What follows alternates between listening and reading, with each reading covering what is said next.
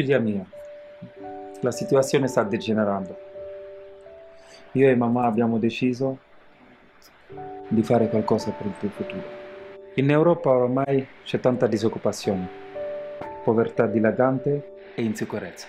Sembra che la nostra razza sia la causa.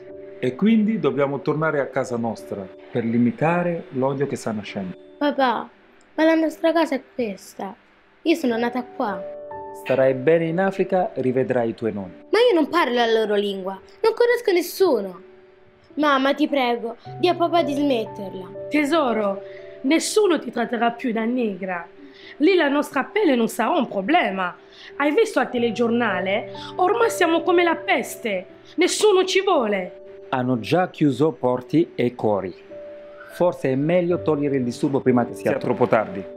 Sicuramente senza di noi risolveranno tutti i loro problemi e saranno contenti e felici.